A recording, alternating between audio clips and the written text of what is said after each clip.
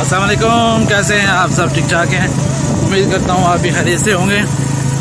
तो आपको थोड़ा सा आज मौसम दिखाते हैं अपने एरिए का, कि कितना प्यारा मौसम हुआ है यहाँ पे बादल नीचे गिरे हुए हैं। यह व्यू चेक करें।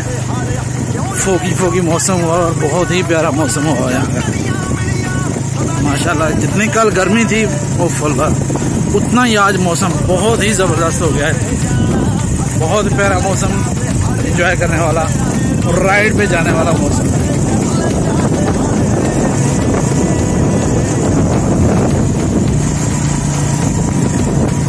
ठंडी हवाएँ साथ चल रही हैं। तो इस दफ़ा मैं रिकमेंड करूँगा कुछ बंदों को जो पिंडी इस्लामाबाद के पास पास हैं कि आप इस इलाके को विज़िट करें। कलर सैदा से तेरह किलोमीटर दोपहरा कलां है। दोपहरा कलां से आगे आपको एक दो किलोमीटर शेर की तरफ़ जाता है रास्ता। तो यहाँ पे आगे आप पिकनिक बना सकते हैं पिकनिक पॉइंट है। आप यहाँ पे इंजॉय कर सकते हैं इस मौसम को, इस वेदर को, इस सीनरी को और इस ग्रीनरी को। ठीक है? तो इंजॉय करें इस चीज़ को। ये इलाका है, ये तला मुसलमान किससे पूछ सकते हैं वहाँ पे तो बता देंगे आपको कहाँ पे जाना है।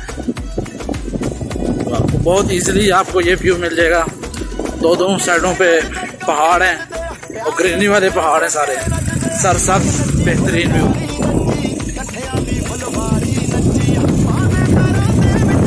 देख रहे हैं नीचे सारा